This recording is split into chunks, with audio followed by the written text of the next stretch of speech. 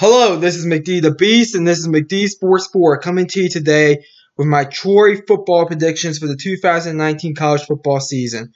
Before I continue, don't forget to hit that thumbs up button please subscribe to the channel. It'll be greatly appreciated if you do that. I have a subscriber goal of 200 subscribers by August 24th, which I would love to hit. So go ahead and hit that subscriber button if uh, you haven't uh, subscribed yet.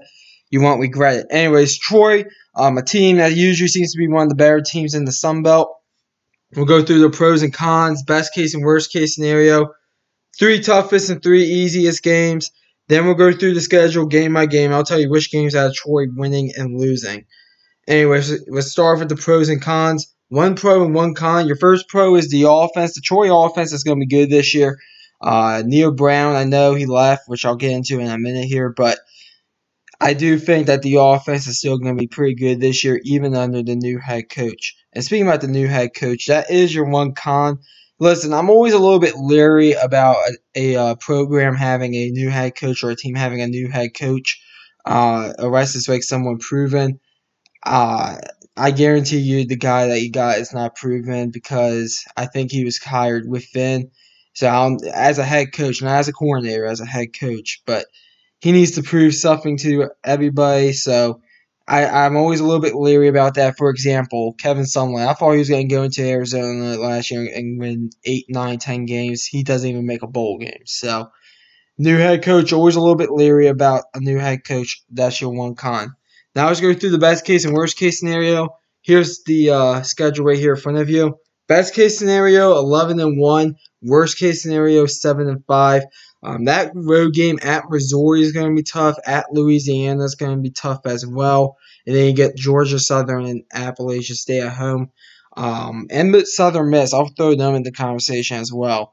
Uh, I think you lose at least one out of those five games.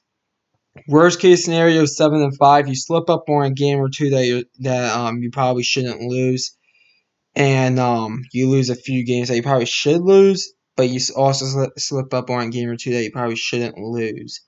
Your three toughest games are Missouri, Georgia Southern, and Louisiana.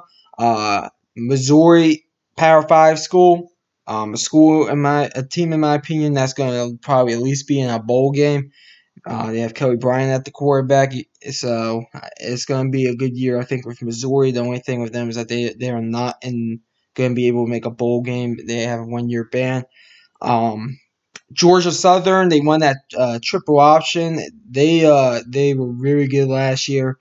Um, they just missed out on the uh, Sun Belt Championship game. They're trying to get there this year. And then Louisiana, they're actually one of the better teams there in um, the Sun Belt. You get them on the road, so that's why I went with them over the Appalachian State game because you get Appalachian State at home this year.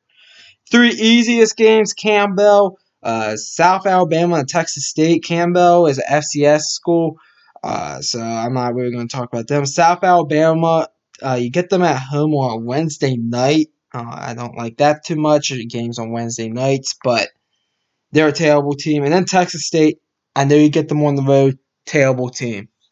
Let's go through the schedule now, game by game. I'll tell you which games I have Troy winning and losing here.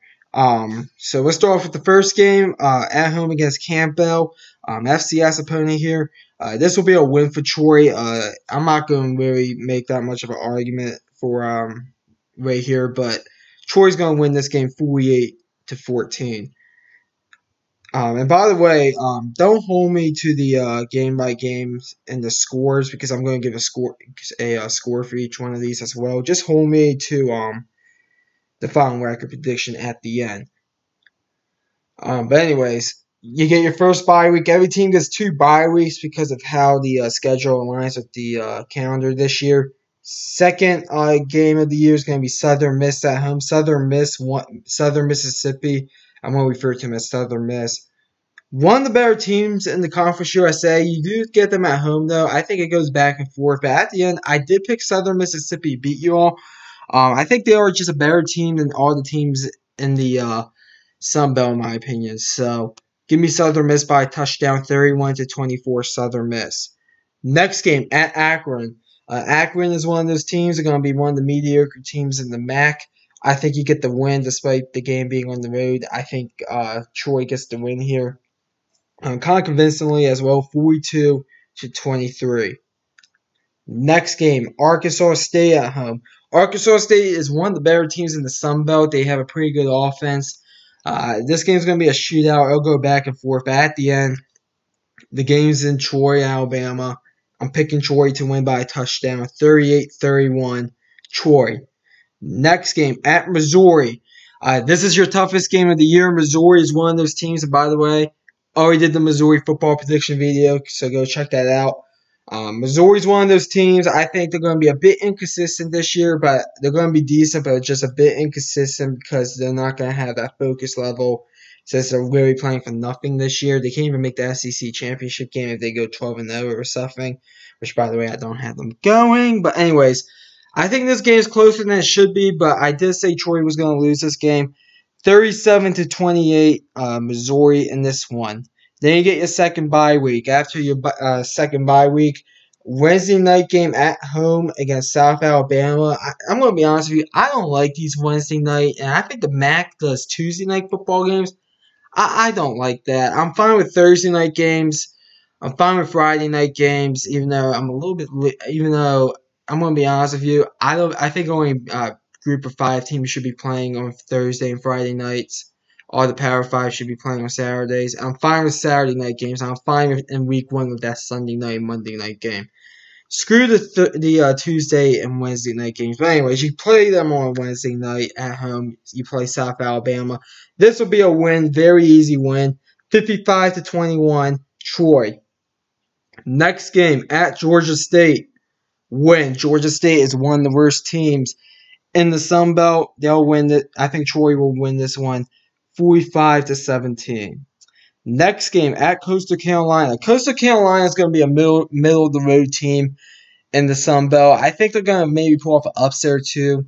I think this is going to be one of them. Um, I have Troy losing this one 34 to 30. I mean, th- Coastal Carolina did uh, blow out UAB last year, so they're capable of winning against some of these teams. So give me Coastal Carolina and the upset 34 to uh, 30. Next game, Georgia Southern, your homecoming game. This is going to be a fun game to watch. Uh, Georgia Southern is one of those teams. They won that triple option. They're gonna. It's going to be really tough to stop them. Uh, this team was the team that uh, blew out Appalachian State last year when they were ranked. Uh, so they definitely could play some football down there at Georgia Southern.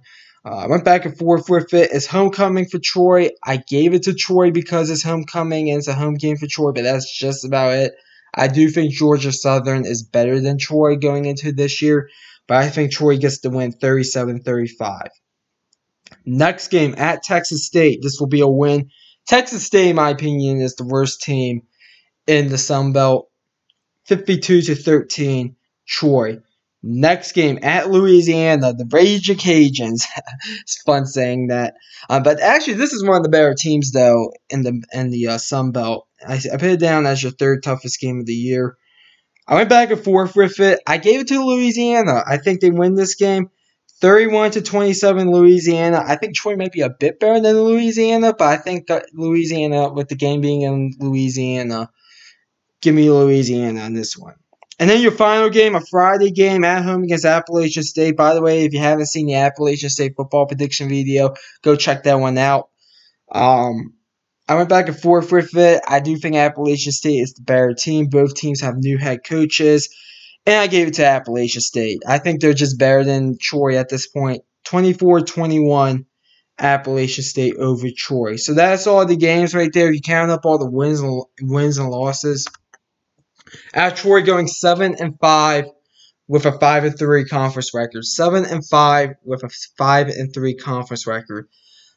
Overall, I think it's going to be just a little bit of a down year for Troy this year with a new head coach. I know this is the worst case scenario for Troy, but you're still going to be in a bowl game. Uh, so that's good news, and hopefully, um, Troy will do better than this. But I have Troy going seven and five with a five five and three conference record. I just think it's going to be kind of a down year for them.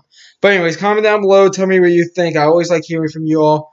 Thanks for watching the video. Don't forget to hit that thumbs up button. Please subscribe to the, to the uh, channel. It would be greatly appreciated if you do that. Thanks for watching, and this is McD the Beast signing off.